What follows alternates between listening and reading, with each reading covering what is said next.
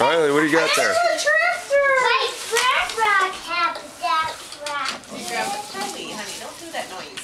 Be careful. Here, Mom, get it. You got it. Here, I'll get it. It's hard. I don't want you to cut yourself.